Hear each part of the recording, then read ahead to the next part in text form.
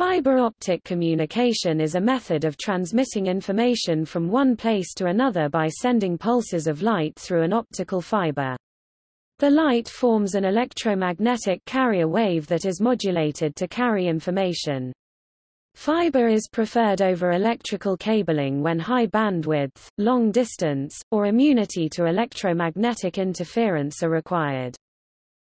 Optical fiber is used by many telecommunications companies to transmit telephone signals, internet communication, and cable television signals. Researchers at Bell Labs have reached internet speeds of over 100 petabit times kilometer per second using fiber optic communication.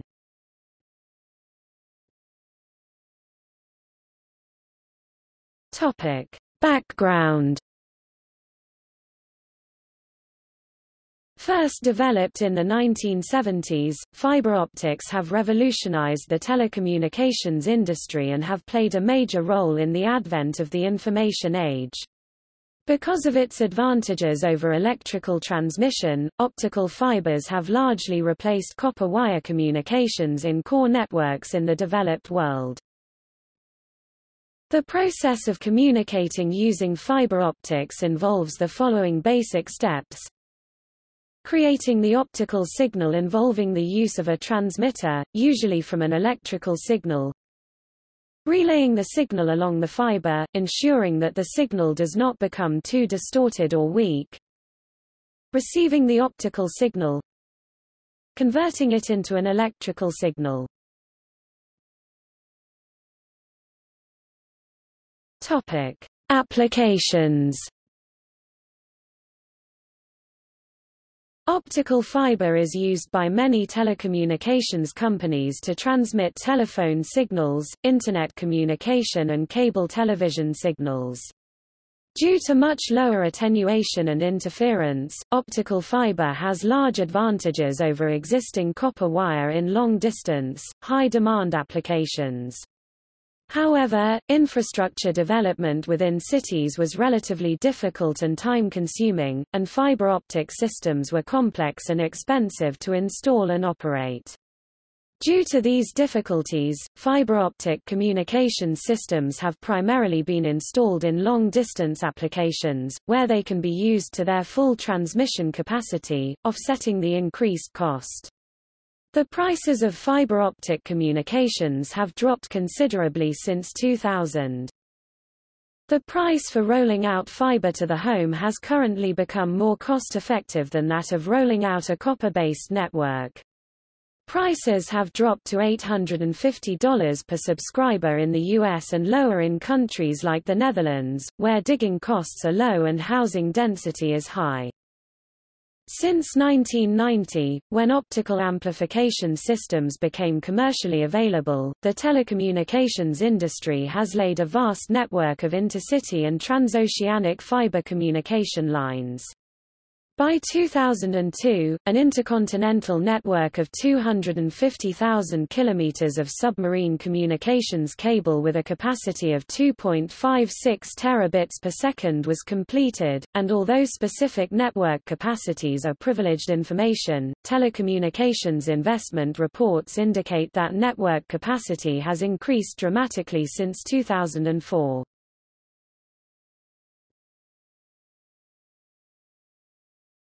Topic: History.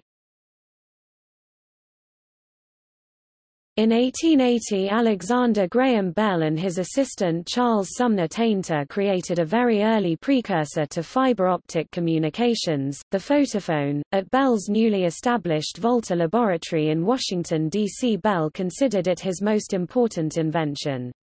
The device allowed for the transmission of sound on a beam of light. On June 3, 1880, Bell conducted the world's first wireless telephone transmission between two buildings, some 213 meters apart. Due to its use of an atmospheric transmission medium, the photophone would not prove practical until advances in laser and optical fiber technologies permitted the secure transport of light. The photophone's first practical use came in military communication systems many decades later.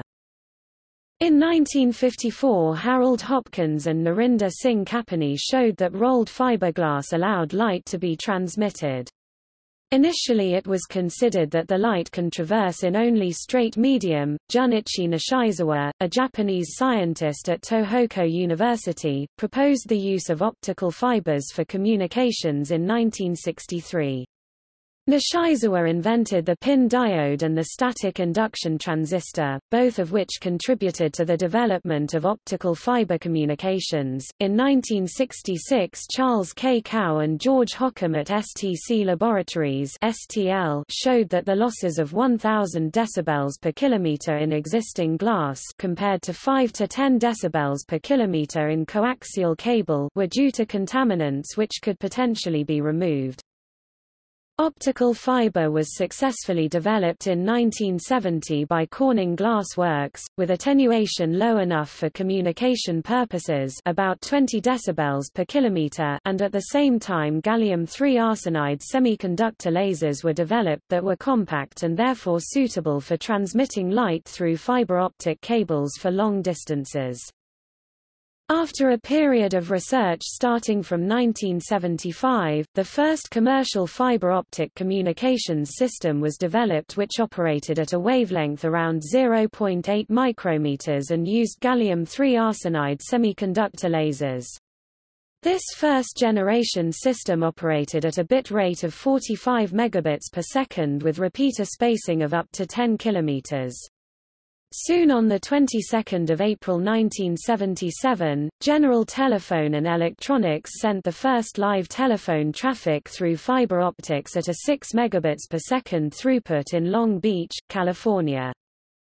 In October 1973, Corning Glass signed a development contract with CSELT and Pirelli aimed to test fiber optics in an urban environment. In September 1977, the second cable in this test series, named COS2, was experimentally deployed in two lines 9 km in Turin, for the first time in a big city, at a speed of 140 megabits per second. The second generation of fiber optic communication application was developed for commercial use in the early 1980s, operated at 1.3 micrometers and used InGaAsP semiconductor lasers.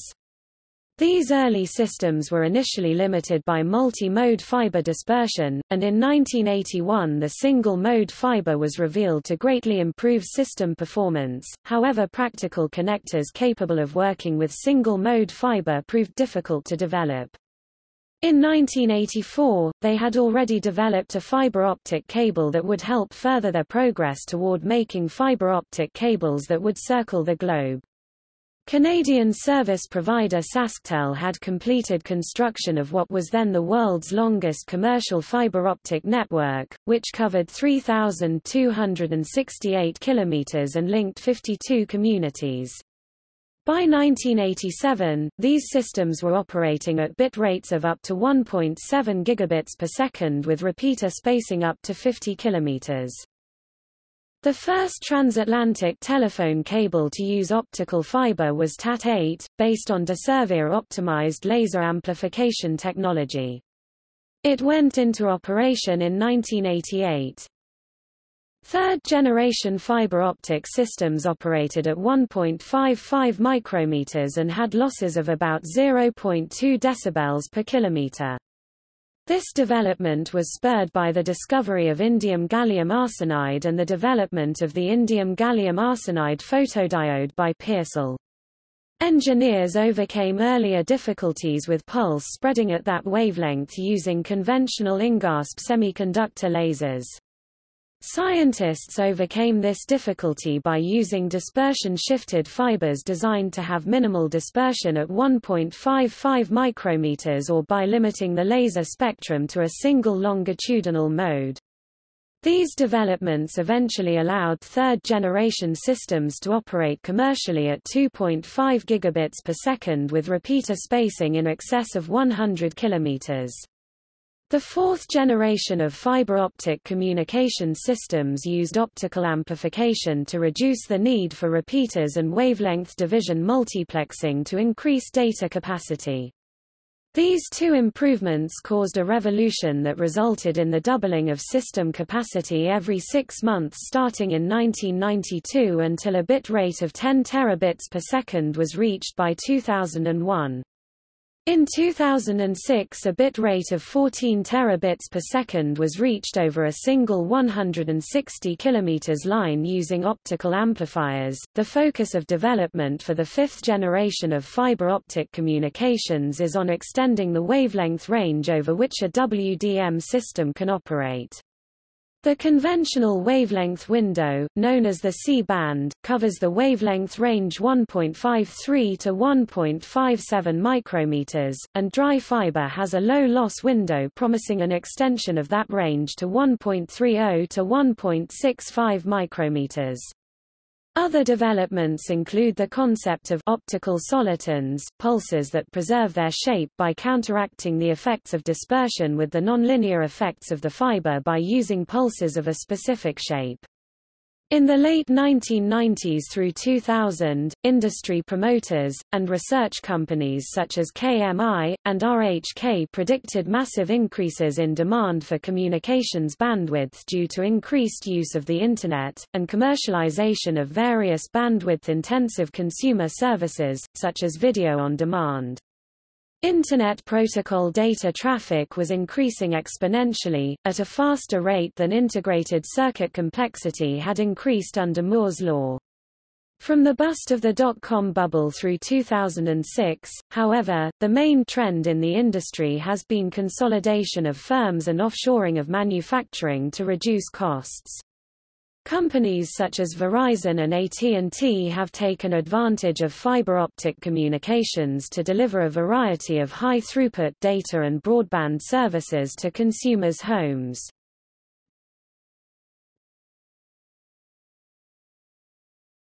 Topic: Technology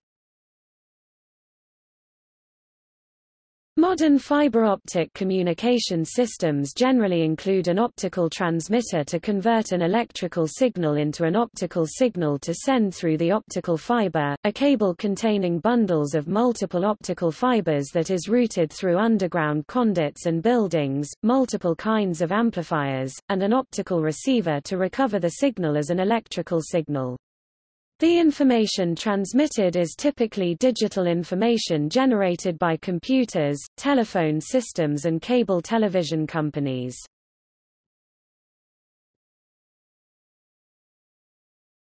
Topic: Transmitters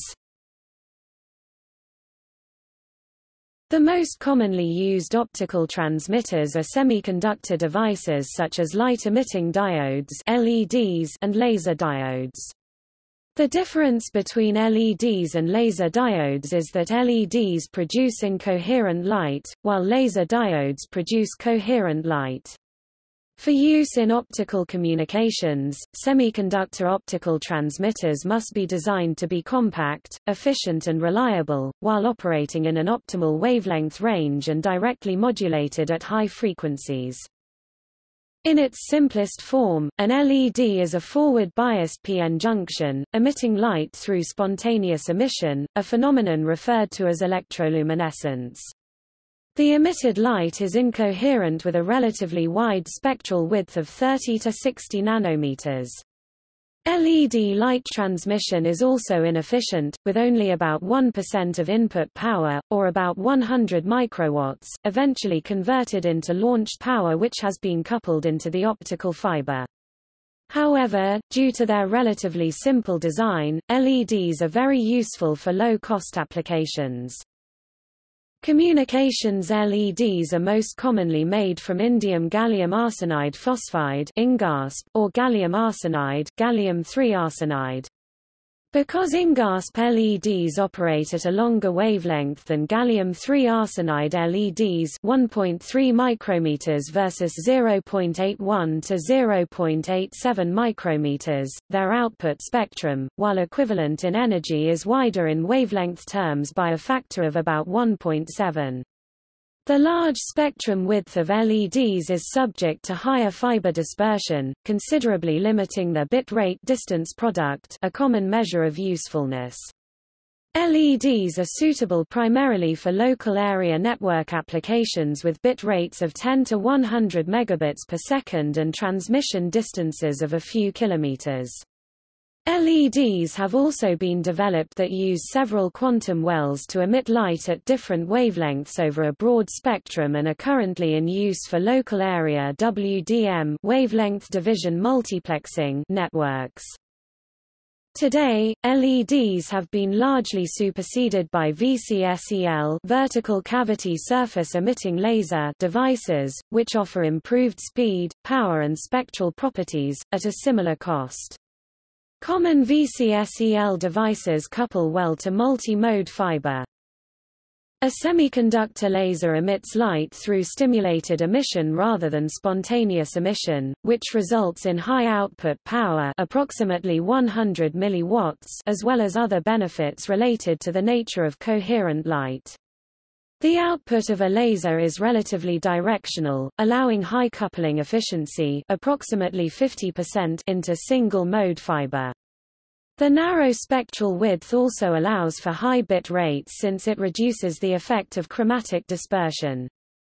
Furthermore, semiconductor lasers can be modulated directly at high frequencies because of short recombination time. Commonly used classes of semiconductor laser transmitters used in fiber optics include VCSEL vertical cavity surface emitting laser, Fabry-Perot and DFB distributed feedback. Laser diodes are often directly modulated, that is the light output is controlled by a current applied directly to the device. For very high data rates or very long distance links, a laser source may be operated continuous wave, and the light modulated by an external device, an optical modulator, such as an electro-absorption modulator or Mach-Zehnder interferometer. External modulation increases the achievable link distance by eliminating laser chirp, which broadens the line width of directly modulated lasers, increasing the chromatic dispersion in the fiber. For very high bandwidth efficiency, coherent modulation can be used to vary the phase of the light in addition to the amplitude, enabling the use of QPSK, QAM, and OFDM. A transceiver is a device combining a transmitter and a receiver in a single housing see picture on right. Fiber optics have seen recent advances in technology. Dual polarization quadrature phase shift keying is a modulation format that effectively sends four times as much information as traditional optical transmissions of the same speed.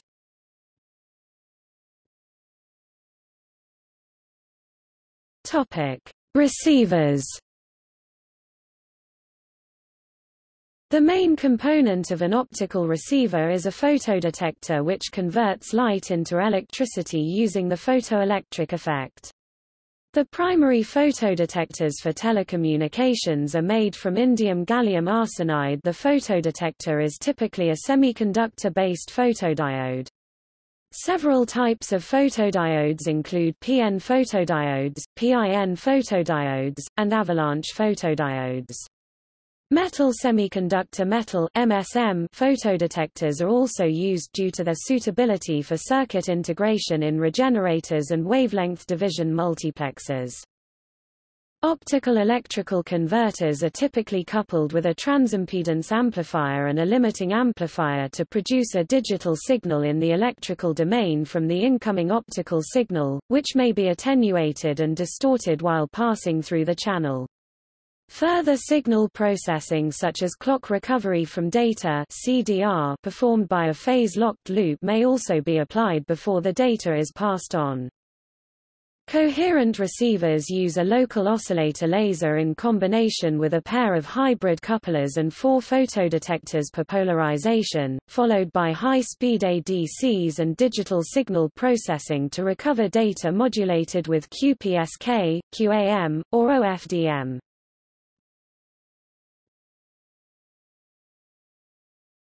Topic: Digital predistortion. An optical communication system transmitter consists of a digital to analog converter DAC, a driver amplifier and a Mach-Zehnder modulator. The deployment of higher modulation formats greater than 4 QAM or higher baud rates greater than 32 G baud diminishes the system performance due to linear and nonlinear transmitter effects. These effects can be categorized in linear distortions due to DAC bandwidth limitation and transmitter I.Q skew as well as nonlinear effects caused by gain saturation in the driver amplifier and the Mach-Zehnder modulator. Digital predistortion counteracts the degrading effects and enables baud rates up to 56G baud and modulation formats like 6.4 QAM and 128 QAM with the commercially available components. The transmitter digital signal processor performs digital predistortion on the input signals using the inverse transmitter model before uploading the samples to the DAC. Older digital predistortion methods only addressed linear effects. Recent publications also compensated for nonlinear distortions. Berenguer et al. models the Mach-Zehnder modulator as an independent Wiener system and the DAC and the driver amplifier are modeled by a truncated, time-invariant Volterra series.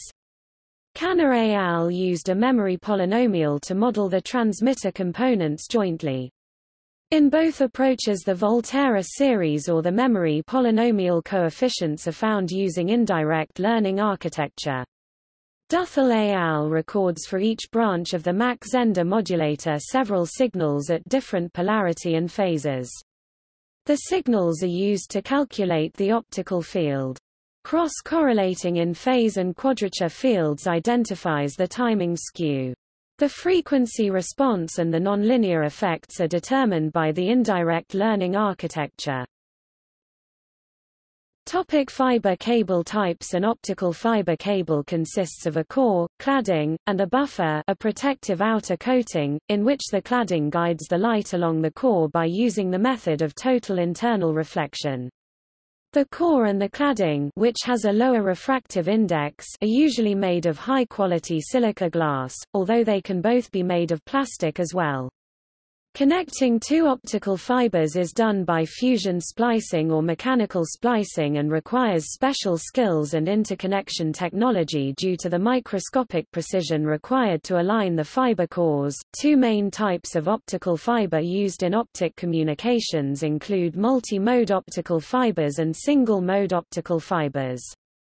A multi-mode optical fiber has a larger core 50 micrometers, allowing less precise, cheaper transmitters and receivers to connect to it as well as cheaper connectors. However, a multi-mode fiber introduces multi-mode distortion, which often limits the bandwidth and length of the link. Furthermore, because of its higher dopant content, multi-mode fibers are usually expensive and exhibit higher attenuation. The core of a single-mode fiber is smaller in order to package fiber into a commercially viable product, it typically is protectively coated by using ultraviolet UV, light-cured acrylate polymers, then terminated with optical fiber connectors, and finally assembled into a cable. After that, it can be laid in the ground and then run through the walls of a building and deployed aerially in a manner similar to copper cables. These fibers require less maintenance than common twisted pair wires once they are deployed. Specialized cables are used for long-distance subsea data transmission, e.g. transatlantic communications cable. New 2011 to 2013 cables operated by commercial enterprises Emerald Atlantis, Hibernia Atlantic typically have four strands of fiber and cross the Atlantic NYC London in 60 to 70 milliseconds. Cost of each such cable was about $300 million in 2011. Source: The Chronicle Herald Another common practice is to bundle many fiber optic strands within long-distance power transmission cable. This exploits power transmission rights of way effectively, ensures a power company can own and control the fiber required to monitor its own devices and lines, is effectively immune to tampering, and simplifies the deployment of smart grid technology.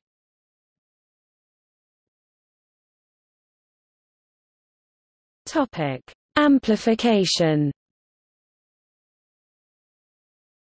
The transmission distance of a fiber optic communication system has traditionally been limited by fiber attenuation and by fiber distortion.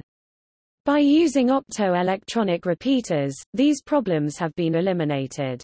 These repeaters convert the signal into an electrical signal, and then use a transmitter to send the signal again at a higher intensity than was received, thus counteracting the loss incurred in the previous segment. Because of the high complexity with modern wavelength division multiplexed signals including the fact that they had to be installed about once every 20 km, the cost of these repeaters is very high. An alternative approach is to use optical amplifiers which amplify the optical signal directly without having to convert the signal to the electrical domain. One common type of optical amplifier is called an erbium-doped fiber amplifier, or EDFA. These are made by doping a length of fiber with the rare earth mineral erbium and pumping it with light from a laser with a shorter wavelength than the communications signal typically 980 nanometers. EDFAs provide gain in the ITUC band at 1550 nanometers, which is near the loss minimum for optical fiber.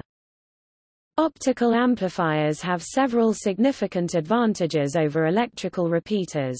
First, an optical amplifier can amplify a very wide band at once which can include hundreds of individual channels, eliminating the need to demultiplex DWDM signals at each amplifier.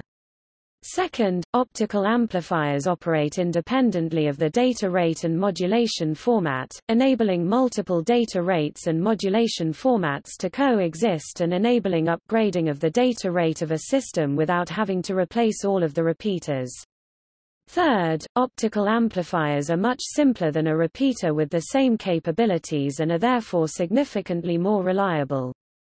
Optical amplifiers have largely replaced repeaters in new installations, although electronic repeaters are still widely used as transponders for wavelength conversion.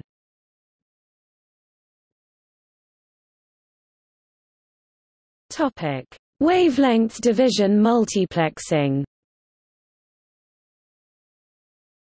Wavelength division multiplexing WDM is the practice of multiplying the available capacity of optical fibers through use of parallel channels, each channel on a dedicated wavelength of light. This requires a wavelength division multiplexer in the transmitting equipment and a demultiplexer essentially a spectrometer in the receiving equipment. Arrayed waveguide gratings are commonly used for multiplexing and demultiplexing in WDM.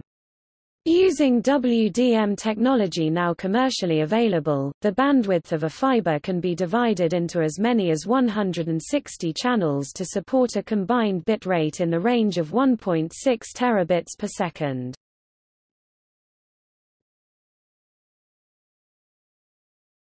Topic: Parameters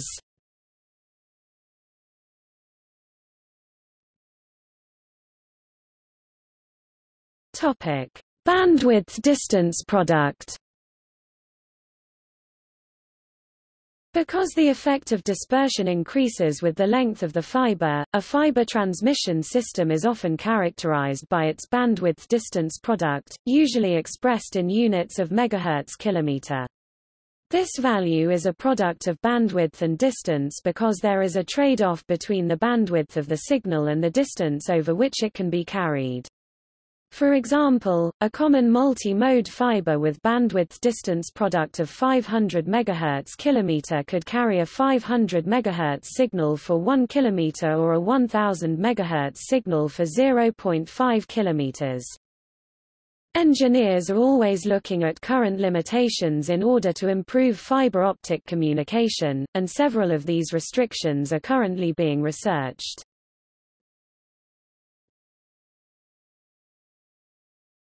Topic: Record speeds.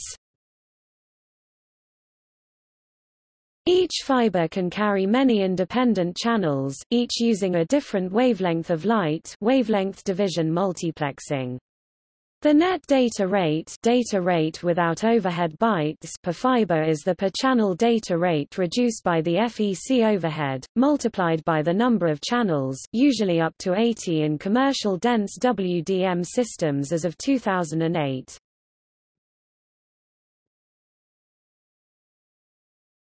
Topic: Standard fiber cables.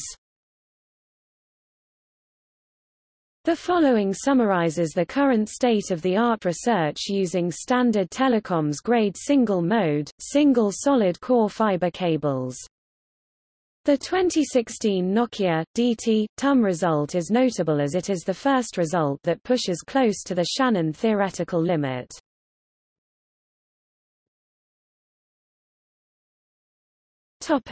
Specialized cables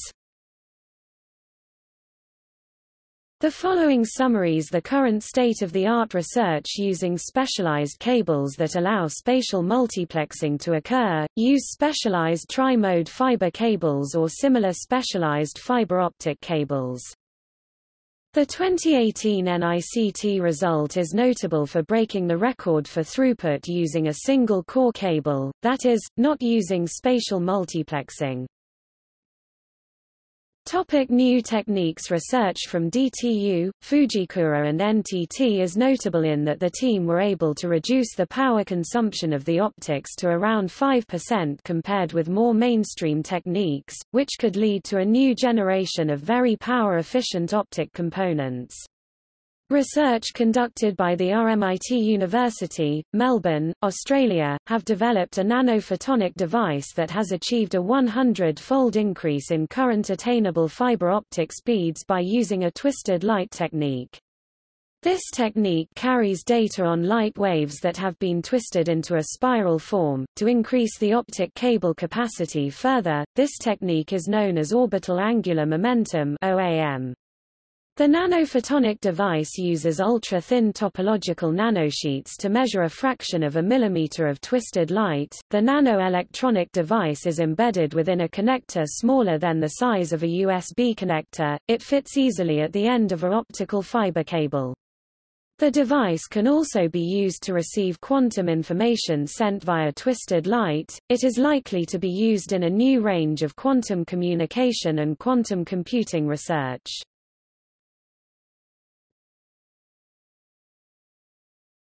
Topic: Dispersion. For modern glass optical fiber, the maximum transmission distance is limited not by direct material absorption but by several types of dispersion, or spreading of optical pulses as they travel along the fiber. Dispersion in optical fibers is caused by a variety of factors. Intermodal dispersion, caused by the different axial speeds of different transverse modes, limits the performance of multi-mode fiber. Because single-mode fiber supports only one transverse mode, intermodal dispersion is eliminated. In single-mode fiber performance is primarily limited by chromatic dispersion also called group velocity dispersion, which occurs because the index of the glass varies slightly depending on the wavelength of the light, and light from real optical transmitters necessarily has non-zero spectral width due to modulation. Polarization mode dispersion, another source of limitation, occurs because although the single-mode fiber can sustain only one transverse mode, it can carry this mode with two different polarizations, and slight imperfections or distortions in a fiber can alter the propagation velocities for the two polarizations. This phenomenon is called fiber birefringence and can be counteracted by polarization maintaining optical fiber. Dispersion limits the bandwidth of the fiber because the spreading optical pulse limits the rate that pulses can follow one another on the fiber and still be distinguishable at the receiver. Some dispersion, notably chromatic dispersion, can be removed by a dispersion compensator. This works by using a specially prepared length of fiber that has the opposite dispersion to that induced by the transmission fiber, and this sharpens the pulse so that it can be correctly decoded by the electronics.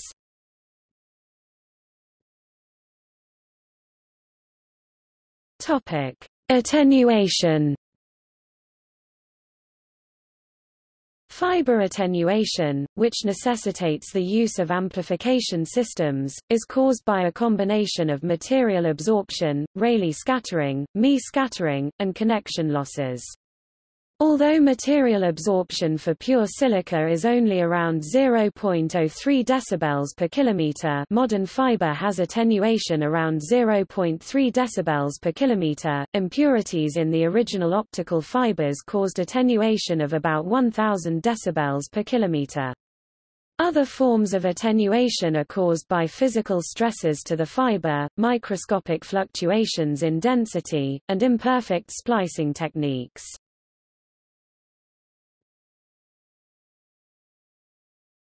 Topic: Transmission windows. Each effect that contributes to attenuation and dispersion depends on the optical wavelength. There are wavelength bands or windows where these effects are weakest, and these are the most favorable for transmission. These windows have been standardized, and the currently defined bands are the following Note that this table shows that current technology has managed to bridge the second and third windows that were originally disjoint. Historically, there was a window used below the O band, called the first window, at 800 to 900 nanometers. However, losses are high in this region so this window is used primarily for short-distance communications. The current lower windows O and E around 1300 nanometers have much lower losses. This region has zero dispersion. The middle windows S and C around 1500 nanometers are the most widely used. This region has the lowest attenuation losses and achieves the longest range. It does have some dispersion, so dispersion compensator devices are used to remove this.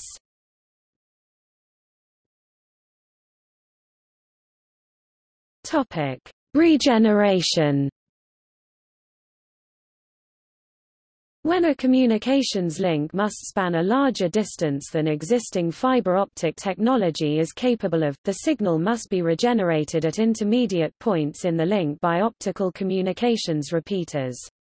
Repeaters add substantial cost to a communication system, and so system designers attempt to minimize their use.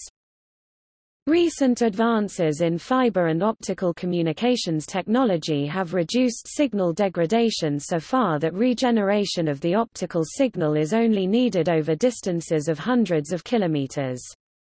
This has greatly reduced the cost of optical networking, particularly over undersea spans where the cost and reliability of repeaters is one of the key factors determining the performance of the whole cable system. The main advances contributing to these performance improvements are dispersion management, which seeks to balance the effects of dispersion against nonlinearity, and solitons, which use nonlinear effects in the fiber to enable dispersion-free propagation over long distances.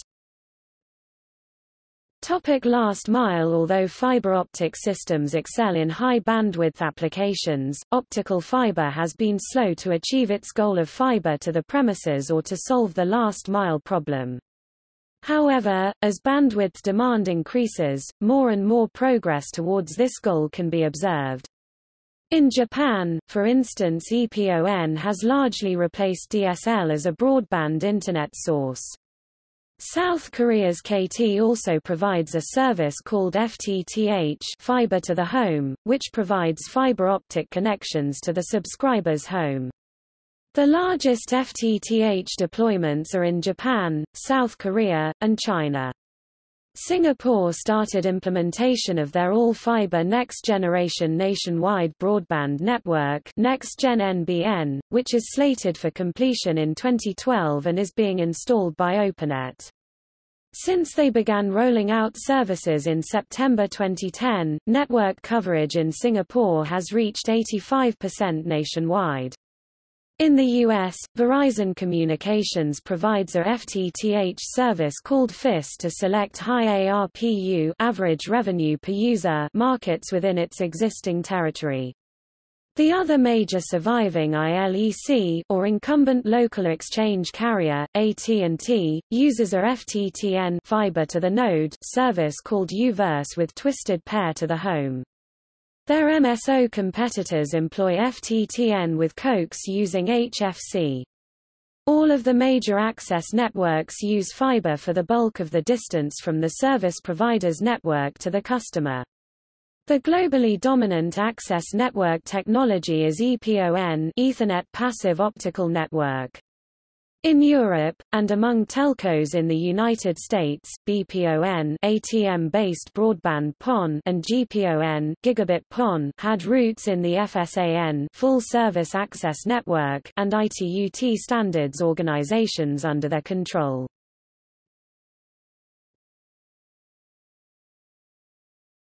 Topic: Comparison with electrical transmission. The choice between optical fiber and electrical or copper transmission for a particular system is made based on a number of trade-offs. Optical fiber is generally chosen for systems requiring higher bandwidth or spanning longer distances than electrical cabling can accommodate.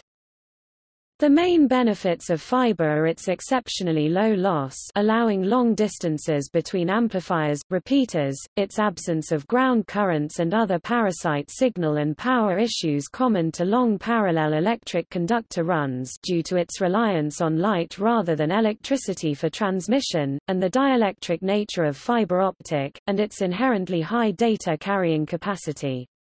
Thousands of electrical links would be required to replace a single high-bandwidth fiber cable. Another benefit of fibers is that even when run alongside each other for long distances, fiber cables experience effectively no crosstalk, in contrast to some types of electrical transmission lines. Fiber can be installed in areas with high electromagnetic interference EMI, such as alongside utility lines, power lines, and railroad tracks. Non-metallic all-dielectric cables are also ideal for areas of high lightning strike incidence. For comparison, while single-line, voice-grade copper systems longer than a couple of kilometers require inline signal repeaters for satisfactory performance, it is not unusual for optical systems to go over 100 kilometers 62 miles, with no active or passive processing. Single-mode fiber cables are commonly available in 12 km lengths, minimizing the number of splices required over a long cable run. Multi-mode fiber is available in lengths up to 4 km, although industrial standards only mandate 2 km unbroken runs. In short distance and relatively low bandwidth applications, electrical transmission is often preferred because of its lower material cost, where large quantities are not required, lower cost of transmitters and receivers, capability to carry electrical power as well as signals in appropriately designed cables, Ease of operating transducers in linear mode, optical fibers are more difficult and expensive to splice than electrical conductors. And at higher powers, optical fibers are susceptible to fiber fuse, resulting in catastrophic destruction of the fiber core and damage to transmission components. Because of these benefits of electrical transmission, optical communication is not common in short box-to-box, backplane, or chip-to-chip applications. However, optical systems on those scales have been demonstrated in the laboratory. In certain situations fiber may be used even for short distance or low bandwidth applications, due to other important features. Immunity to electromagnetic interference, including nuclear electromagnetic pulses. High electrical resistance, making it safe to use near high voltage equipment or between areas with different earth potentials. Lighter weight, Important, for example, in aircraft. No sparks. Important in flammable or explosive gas environments. Not electromagnetically radiating, and difficult to tap without disrupting the signal. Important in high security environments. Much smaller cable size.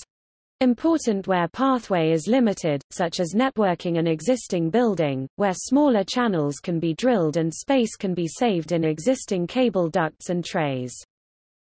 Resistance to corrosion due to non-metallic transmission medium optical fiber cables can be installed in buildings with the same equipment that is used to install copper and coaxial cables, with some modifications due to the small size and limited pull tension and bend radius of optical cables. Optical cables can typically be installed in duct systems in spans of 6,000 meters or more depending on the duct's condition, layout of the duct system, and installation technique. Longer cables can be coiled at an intermediate point and pulled farther into the duct system as necessary.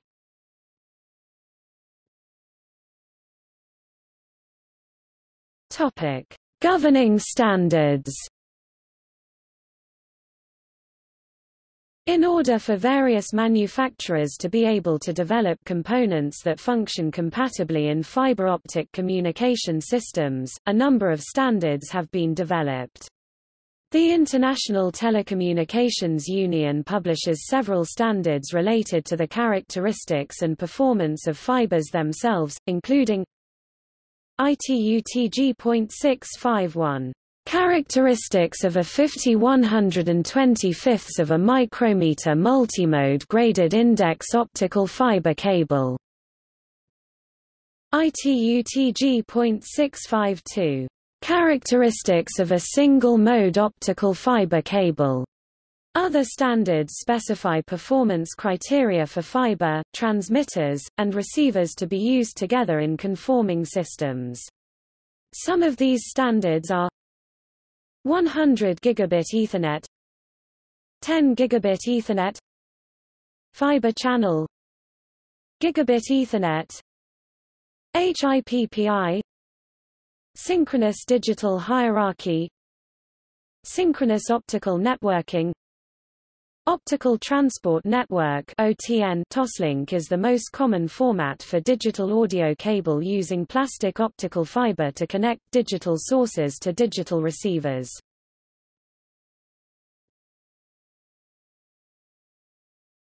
Topic. See also